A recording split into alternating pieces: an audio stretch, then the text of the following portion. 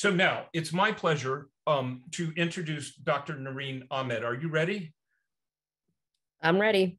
Okay, thank you very much. So I have not studied her um, biography very much. She may have to correct some of my um, introduction, but the thing that impresses me uh, most, Leith Greenslade suggested that we talk to her. Um, she is a clinician, and just on Wednesday or Thursday, she was in an ICU getting her talk ready. But she's also done work in low and middle income countries. So Dr. Ahmed is a um, doctor who I believe is a medical doctor who is also a professor um, and has done work in um, the kinds of setting where open source technology is going to make um, a big difference. Uh, have I have I said anything incorrect, Dr. Ahmed? No, you're absolutely on point. Okay, great. Um, so I'm going to let her take over. I will go to the Rehive instance and then try to return in in uh, in time to have Victor Sutrin introduce Dr. Gadasali. Great, thank you, Rob, um, and thank you everybody for for being here. Um, I'm extremely honored to be giving this talk today, um, and especially honored to to have sit through some of the talks before. I think um, this has been an incredible conference. Um, just to give you a little bit more background about me, uh, I'm a medical ICU doctor. I work in Philadelphia and Pennsylvania um, in the U.S. but as Rob mentioned, I do a lot of global health work with some nonprofits. One of which, Med Global, uh, is also part of the Every Breath Counts Coalition um, and uh, and have really been able to see the impact of open source and um, the the the need for it really during this pandemic. And and that's what i'm going to kind of start out by talking to you about that. Uh, and really the the reason i named this talk amplifying local voices is because throughout the last two years which is hard to believe that we've been doing this for two years with the pandemic um, it's really been about the local community feeding back to those of us in healthcare um, and that has been how each of us has learned how to deal with COVID. Um, as a clinician working in a city that was hit after, um, you know, after Italy, after New York City, we learned from those local communities about how to take care of patients, and that was uh, an eye-opening experience. And I think that globally speaking, it's part of the key to combating health inequity. So I want to start with a story which really um, is uh, incredible. And I just will start out by saying that all images that have any patients in them were shared with permission uh, by patients or patients' families. Uh, this picture was taken several years back, uh, pre-pandemic. As you can tell, there are no masks, which is hard to see that image and, and not feel a little bit of anxiety. Um, and uh, this was a patient that came in with severe malaria, complicated by a bacterial infection, and she needed uh, to get on a ventilator ASAP. Uh, what you see here is that I'm preparing to intubate the patient or place a breathing tube. Uh, in this maybe exact moment, two seconds after this image was taken, the power went out. Um, and as, uh, as Debbie had kind of um, uh, had had kind of had to deal with that during her chat. Um, I think this was uh, this was a, ver- a very a moment of very high anxiety because it was not something I was used to. This was in Ethiopia, um, and uh, and the team that was with me, this was something they were very used to. And immediately they knew exactly what to do. In this exact moment, another disaster happened. The oxygen cylinder that was connected to the ambu bag uh, ran out of oxygen. Um, and uh, and so many things went wrong in that moment, but the team that was there knew exactly what to do, and that reminded me that in low middle income settings where the resources are limited, the teams that are there have been working in that and in those environments their entire careers. They know how to work in those environments. They know how to get creative, innovative, uh, and and listening to them is one of the most important lessons I've learned. And I learn so much more when I work in these settings uh, because I come back armed with so much knowledge about how to get innovative in the area of healthcare when we're so limited with our resources. So then, fast forward a few years, um, and I thought, okay, I maybe I'll never be in a scenario again where I'll feel like resources are that limited, especially in the U.S. But I continued to do global health work, and so I, I knew that you know I, I would be in those settings abroad, but probably not ever in the US. Fast forward to the pandemic. Um, the image that you see in the top left is in one of the ICUs that I work in here in Philadelphia. Um, and I remember the day that we ran out of ventilators. And I remember thinking, uh, I cannot believe this is happening. I cannot believe this is happening in the US. I remember the day that somebody said we have run out of high flow nasal cannula. I remember the day that we had to decide um, who gets that one particular intervention over the other. And I thought, this is what my colleagues in low and middle income countries with limited resources are dealing on a regular basis. Fast forward then, um, several months in, I volunteered my time in Navajo Nation in Gallup, New Mexico, in the US, and again experienced what um, the absence of resources look like uh, in an area of the country in the U again in the US um, that was limited with number of beds in hospitals, number of staff, ventilators available, all of these things. Um, and again, experiencing what that stress and anxiety and tension on a system and on people, what that looks like. And then over the last two years, I've also done a lot of, unfortunately, haven't been able to travel as much internationally, but have worked very closely with colleagues in many of the countries that I personally have worked in myself or that, that my organization, Med Global, works with. And one in particular was in Bangladesh at Dhaka Medical College Hospital, where I've worked uh, for several years doing a lot of capacity building and medical education and have heard the cries of my colleagues there about PPE, about lack of oxygen uh, lack of support, um, the lack of the world knowing how bad it really is over there. Um, this image was taken with permission, but as you can see, um, this patient has a, a, a venti mask on them. Um, the limitation of ventilators in that unit was a very real feeling that happened on a daily basis. And these were these are some of the clinical stories a lot of memes and images and art came out from the last two years that are very telling about these limitation of resources and the stress it puts on the system. This particular image really stood out to me because it really spoke to the devastation that many of us felt at the bedside, realizing that perhaps if we had more, we could do more and that patient would survive. Um, and this was, uh, this image in particular um, is, I believe, how many of my colleagues abroad really felt when they ran out of resources or there maybe those resources were never available. And this image was the second image that really stood out to me. And I think, uh, again, I am kind of making this point of the impact of having access and having access to resources, access to edu- medical education, and um, a- a- all of this is so important because this is the struggle. Uh, we have felt like for the last two years, um, whether I'm working here in the US or collaborating with colleagues abroad, that we are fighting to keep people alive in an era where um, you know we are we are learning that uh, that our resources are not infinite. Um, and that's both human, uh, physical resources, um, you know, across the board. And that has been a very impactful experience to see and be a part of. So that leads me into um, a, the, the line from the Open Medical Technology Manifesto that I wanted to put it put into my presentation really because it spoke to me uh, and i truly support this the concept of open shareable repairable medical technology that will make us all healthier.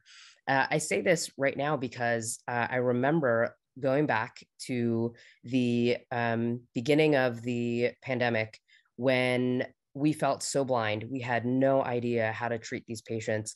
They were coming in with a medical disease that we thought we would be able to understand. Very simple. A virus that affects the lungs, you put them on a ventilator, we know what to do. We've done that before. We've seen swine flu, we've seen the regular flu. Um, you know, we, we thought we knew how to deal with this. And then these patients showed us that we had to relearn how to practice medicine, and that was very scary. The only way we were able to move forward were to have Zoom sessions with colleagues. these were open settings from across the globe we saw in rapid form um, papers being published, data being published, and accessible to everyone, which was both a good and a bad thing. But for those of us in the medical field, it was incredible. Uh, we went from saying steroids are bad to steroids are good. This came from experience and people sharing those experiences and sharing it so openly that we were all able to benefit. And that benefit expanded into low and middle income countries as well. And not only were we sharing with them what we learned, they shared with us what they learned. And that transfer of information was so incredibly important to the ability of uh, to get to where we are right now. So in light of the sort of title of this of this conference, I really want to focus on concept to impact and what that really means from a clinical setting. Um, to me, that that looks like open source design, which is you know we've spent a lot of time talking about that and what that means, um, really translating into patient outcomes and improving patient outcomes. So when I look at this, based on the experience that I've had working in the US and in low resource settings in the United States as well as abroad, um, I first kind of focus on the barriers. And I think this is an incredible place to start. And really, I think um, lends to the conversation of how do we change the world? How do we impact uh, with open source and what comes from that? So to answer that question, I'm going to start with a, uh, another story because I think these these stories really lend to the impact of what we're talking about. Uh, I was working in a refugee camp in Bangladesh, um, in the Rohingya refugee camps. Um, the image at the top left is a clinic that's set atop of a of a hill. Um, it's deep deeply entrenched in the refugee camp, so easy for um, many of the Rohingya to reach the the clinic, but very hard to send somebody from the clinic to a hospital if needed. At the bottom left of the screen, you'll see that um, this is what the acute care area in the clinic looks like. It's quite limited. Hidden somewhere in the back there, you'll see there's an oxygen tank. Um, and I remember one day I had a patient that came in who was in respiratory distress. We were able to check a pulse ox on her. We were able to give her oxygen. I had a handheld ultrasound with me that I had brought with me from the States. I was able to tell that she likely had pretty severe pulmonary edema and heart failure. So the next step was we had to transfer her to a field hospital. The picture to the right is how she was being transferred from the acute care clinic to the street level to then get, get into an ambulance and get transferred to a field hospital. Um, the limitation that we had was providing her ambulatory oxygen. Um, so the infrastructure was limited, the actual therapeutics were limited, um, how to actually transport the patient, um, all of these things, all of these steps. And I thought to myself, well, you know, it would be great if we had oxygen, but one, who would know how to who it would be great if we had ambulatory oxygen who would know how to use it in transport? Um, could we teach people how to provide oxygen or higher level uh, or a higher level of care in this very remote clinic in order to stabilize them? Um, there's so many steps to this on providing uh, a tech or um, a type of a type of intervention, the sustainability of that and the impact of that over time. And so this is a, one of those scenarios where I thought to myself, gosh, there's so many steps here that need to be um, that we need to really talk about in order to create the impact in such a remote area. And so I thought about what are some of the main limitations here. Some of the main limitations are remote infrastructure,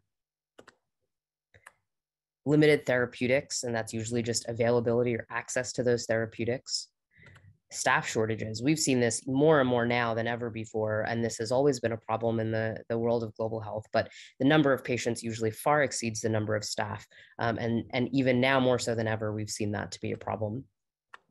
Absent health tech. Um, the access to health technology and the access to continuing medical education continues to be a problem in many parts of the world. So, what are some of the practical solutions from the field that I believe that uh, are probably a good summary of a lot of what we've talked about in the last two days? So first of all is you know innovation, innovative infrastructure, finding government funding. This picture to the uh, left here is a hospital that's being constructed in Syria. Um, it's an extension of an existing hospital by Med Global and local NGOs. So working together with local government, local nonprofits to find the funding as well as the the resources to build. And that's just the brick and mortar that we're talking about. Um, the second thing is to get innovative about how we expand infrastructure in other ways. Isolation hospitals were one of the really big things that came out of COVID, and thinking about how to increase the number of beds but outside of a hospital? How do we offload the healthcare systems? Because while the tech is important and while the open source to the design is important, we have to be able to understand the landscape in which we are applying those things. Um, if we don't have enough beds, then the number of oxygen generators built is not going to be able to fill the tanks because we don't have a place to put those tanks because we don't have a place to put those patients. It, it, everything goes from A to Z when, when we talk about patient care and patient outcomes. And so isolation centers across the globe were a really big way to offload hospital systems. We did this in Navajo Nation in New Mexico as well. Um, and this was a great way to say, let's put patients who maybe only need one to two liters of nasal cannula oxygen um, and let's treat them in a place where we can really task shift and bring folks that can check basic vitals, consult with medical personnel, and take care of patients that are on the low key, low acuity side innovate other innovative methods of delivery of healthcare. So using the tech, using the innovation that we're talking about here, and then applying it to very remote areas in a different manner. We have mobile health teams in many of the organizations I work with, um, thinking about how to transport innovative ways on how to transport medications in the top left um, inset of the image at the on the left side of the screen is the uh, portable um, icebox that we needed to transport COVID vaccines across um, the Navajo reservation. And thinking through those innovate that innovative design on how we can deliver healthcare across the globe with the input of folks in those communities is incredibly important. Sustainable donations. We've talked a lot about uh, the innovations that organizations come up with, um, that entrepreneurs come up with, and how to actually make those donations sustainable, whether it's machinery, whether it's um, tech itself, um, whether it's uh, just a concept. How do we make these donations or how do we make these collaborations and, and implementations and inventions sustainable? Um, certainly thinking through um, building infrastructure from the bottom up. So uh, Med Global has worked on donating oxygen generators, oxygen oxygen plants, and then teaching folks locally how to use them, thereby dealing with the concept of repairability, um, management, and and ensuring that local staff know how to use this tech and can therefore supply over the long term and be a sustainable solution. Augmenting access is another really practical solution that we've looked at. Um, installing internet to improve uh, communication across the globe so that there can be ongoing knowledge sharing about those open source designs, about how to implement them. Um, and as you'll see here to the right is a poster from a conference that included doctors from across the globe to share how we're using our different types of tech. And that was only done by the ability of installing internet and really focusing on how that can be a part of, of the A to Z sort of timeline um, and approach to open source design to then impact and implementation localizing supply chain. This has been talked um, talked about a lot. One of the things we did in bangladesh as you'll see on the left uh, this was a task shift of an entire organization with they're actually the edge is a um, architectural organization um, and they mostly work on building construction and building architect uh, building architecture and they basically task shifted into the into the area of building and creating medical ventilators based on open source design and so uh, I was involved in consulting on that. And that was an incredible way that that organization was able to say, you know what, we're not building buildings right now. So let's, why not build ventilators and help our people in our country? It's a local organization, local company in Bangladesh. And so there was incentive for them. Um, localizing supply chain became a huge thing when it came to oxygen generators.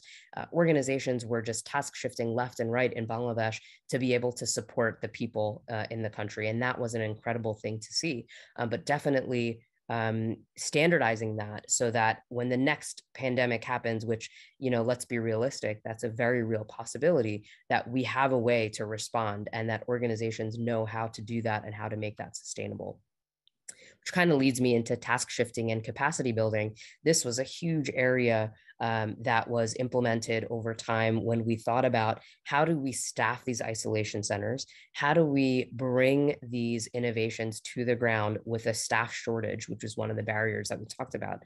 And that was bringing community health workers, family members at the bedside, teaching them how to use the pulse ox, teaching them how to apply oxygen, um, and and really utilizing um, many people who were currently out of work because of the pandemic, bringing them in to really help be a part of the team. Uh, of course, thinking about sustainable ways to do that over time is incredibly important. So then we go back to the slide of concept to impact. What does that really look like? How do we break that down? So on the concept side, I think about access to the open source design, the designs themselves, identifying grants and funding, engagement of local and national government and NGOs, localizing the supply chain in the short and long term. And I think really thinking about how we can involve the local community in that, innovative infrastructure planning, input of local healthcare community is incredibly important. They have to be a part of the conversation. And then over to the side of impact, how do we implement? So first starting with implementation of infrastructure, task shifting, capacity building, ensuring that training is a big part of this, continuing medical education, localizing maintenance and repair, monitoring and evaluation of efficacy is hugely important because that feeds back into identifying grants and funding and proving that what we're doing works. Uh, and then at the very end of that, which is probably one of the most important things is the improvement in patient outcomes which comes when we see that collaboration of both sides of this of this slide. So i'll end here. Um, i know we were limited with time um, but i really wanted to have this opportunity to tie in the clinical impact of what we've been talking about for the last two days. Uh, i really want to open it up to questions or comments um, and happy to to join in on, on any discussions. Thank you very much. Um, you're getting a lot of kudos here. Um, Dale Dougherty uh, from Make Magazine says, what a terrific presentation and presenter in the chat. Megan says, thank you, uh, Dr. Ahmed. Um, Reggie Nakin says, great work for sharing.